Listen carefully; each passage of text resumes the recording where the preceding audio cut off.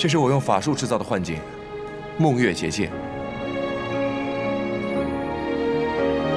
可是府内不能用幻术啊。这梦月结界是师傅传授的结界法，有别于一般的幻境，不会被人发现。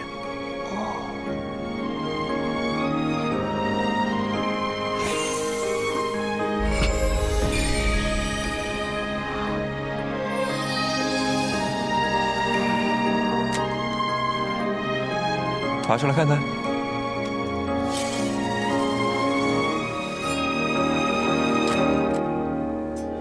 我正想着你一个姑娘家该用什么兵器，刚好主上让你练习流光斩，不如就试试这把剑吧，应该很适合你。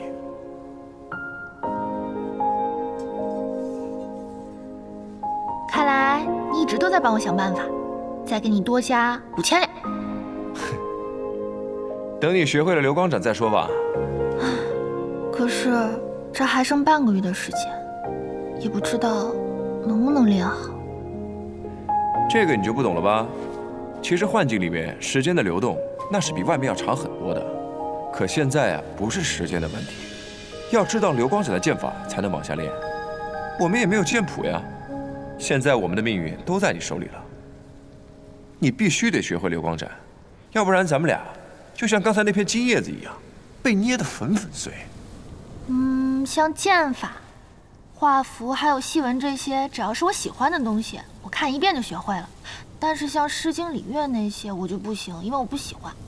放心吧，我来教你。好。那第一步，我们不可以让这个小火苗从剑尖上掉下来，听明白了吗？明白。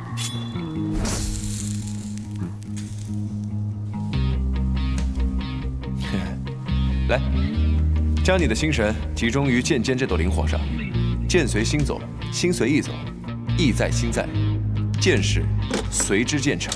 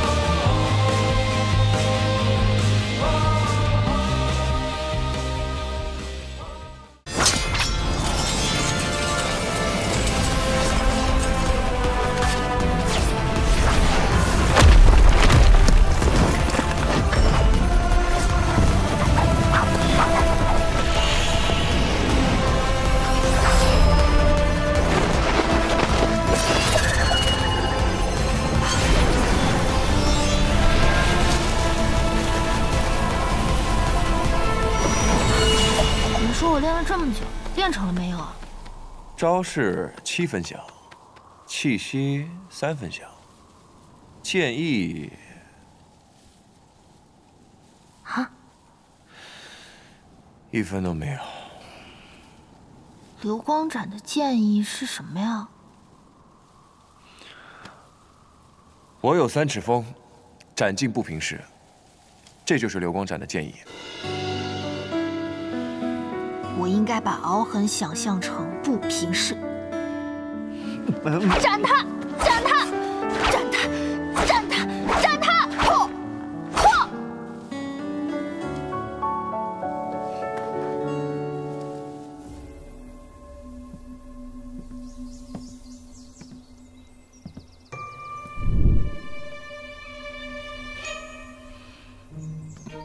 这丫头练得有些疯魔了，今天练的时候得小心点。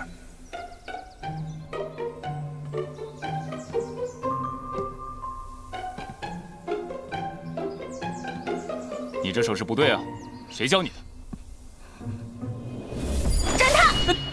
侦探，手打到大师兄了，用什么？不知道啊，一道金光，深藏不露啊。大师兄没事吧？